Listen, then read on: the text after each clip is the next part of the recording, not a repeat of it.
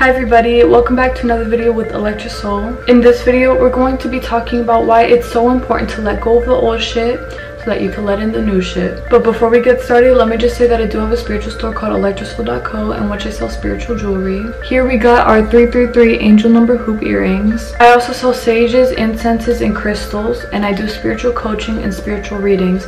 So if you're looking to enhance your spiritual abilities, I'm all here to help you out with that. Just shoot me an email and we could get started. You can follow me on Instagram, TikTok, and subscribe to my YouTube channel. You could like, share, comment. Alright, now let's get started with the video. Letting go of the old shit is literally the key to everything. Just like I say, the mind and the tongue are the two most important and powerful things in this world. Do you really think that thinking about the past consistently is going to be helping you?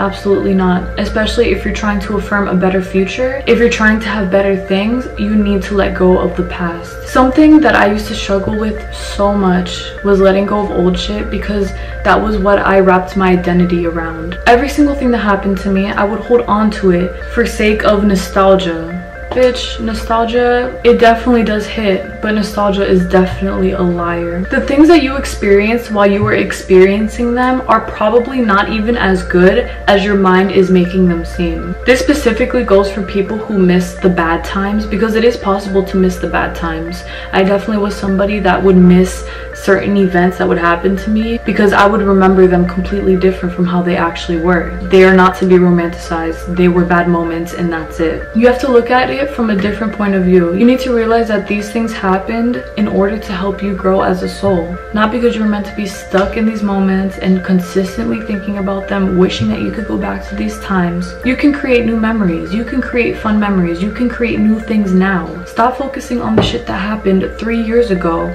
with a person that you once dated three years ago let it go. It's not here because it's not meant to be here. If it was meant to be here, you would still be experiencing these things today. The things that rob us of the happy times now is consistently thinking about the past or staying stuck upon something that no longer matters. Kind of like what Andy Bernard said, I wish we knew that we were in the good old times before they became the good old times or something like that. It is so true. You need to realize that what you're doing right now is more important than something that happened to you five years ago, even a year ago. These things are good memories, you know, you can remember them and be like, wow, it was a lot of fun, but that's it. It's just a moment of remembering. You have to let it go because how else are you going to grow? You are going to stay in the mindset of who you were when these things happen, as opposed to realizing what you have right now and treasuring it. I was actually telling my good friend the other day about the fact that I would self-sabotage in every single relationship I was in. I would be with somebody, we would break up,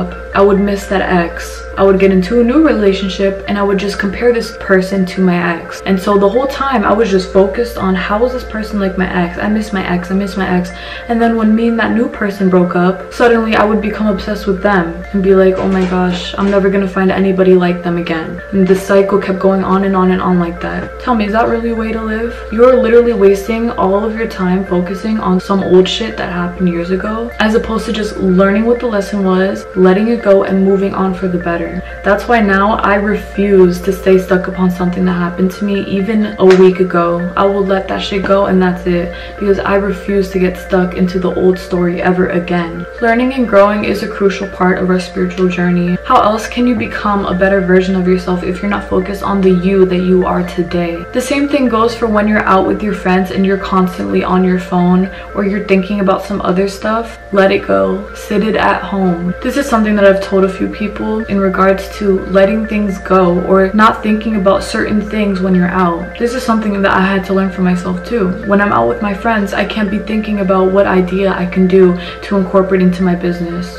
It just doesn't work out like that. You end up thinking about the things that you're thinking about too much and you end up wasting precious time that you could be spending with your friends or with whoever it is that you're out with. Even if you're alone, if you're at the beach, who wants to be sitting there thinking about something that they're supposed to be doing that weekend?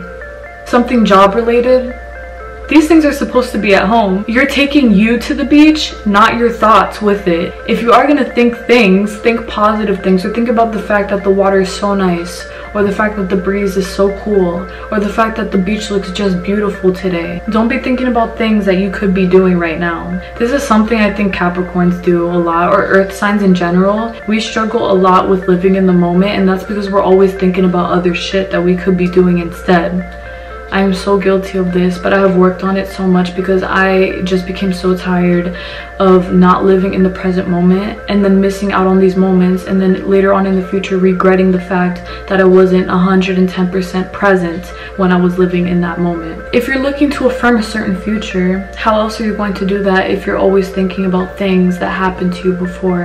If you're thinking about the time that you got hurt or the time that something happened to you and so you keep letting these fears come in. You need to realize that those things happen once and that you're not going to let it happen again. So don't let it happen again. Affirm that it won't. Letting go of the past comes a lot with acceptance, just accepting things for what they were. You need to really sit down with yourself and if it helps, write it out. Write out the things that you miss and why you miss them and why it's okay that it's over now. Why it's time for you to move on. This really helps a lot because you really get to understand the reason for why you do these things. Why you're unintentionally screwing yourself over by thinking about something that no longer matters or is no longer present in your life life. Oftentimes, when you ask an older person if they have any life advice for you, one of the things that they'll say was, I wish I had lived in the moment more. People always struggle with this. This is something that happens to thousands, millions of people. Part of it comes from the fact that they're genuinely worried about other things and not appreciating what's happening right now. And the other part is them being afraid to truly enjoy the moment because they don't want it to go away. And so they rather not feel it at all. Don't repeat the same mistakes that you made when you were with your toxic ex. Your new and healthy relationship is here now. It's here to help you grow and learn from what happened. Do not repeat the same old mistakes. Do not do things that you know will hurt your future, especially if you know you know better, but you're choosing to do the things that you did before because it is a choice after the first time. The first time is a mistake. The second time that you're doing it, it's on purpose, whether you want to admit it or not. You're doing it on purpose because you're afraid of some change. Let the change come. Let yourself be happy. You deserve to be happy. You don't deserve to be living in a space of fear and past and regret. You should not regret a single thing that you've done in your life. Everything that you did was for a reason. Whether it was at a point where you thought you were dumber or that you didn't know that much or that you just didn't understand what was going on. That's totally fine. We all have those moments. I've done some things before that I'm not 110% proud of, but it happened. That's it. Nobody's perfect. Everybody has messed up in some way. The only thing that you can do now is apologize, change your actions, and never do it again. So don't do it again. Don't cheat on that partner just because you had somebody who cheated on you before. Don't treat somebody bad because people have treated you bad before. Don't bully people just because you've been bullied before. Make the choice to be better. Live in the now. You will only be as happy as you choose to be. And so choose to be happy and live the right way. Listen to your intuition. You've got that shit in the bag. Do not let anybody take that away from you because it cannot be taken away from you. Surround yourself with people that understand what you're talking about. Surround yourself with people who understand how to live in the moment. Surround yourself by happiness, by pleasure, by positive thinking. Make good choices every day. It's all up to you, truly. But if you want a better life and a better future, that's the way to go about it. Alright, thank you all so much for watching. That's basically it for my video. I just had to let y'all know because I know living in the past is such a struggle for so many people, but it's something that we have to let go of and just continue on with. It's a new day, a new chance to start over, a new future, new present, everything. We're gonna be fine. Thank y'all so much again. I love y'all so freaking much. I'll see y'all next Sunday for another video. God bless. Bye.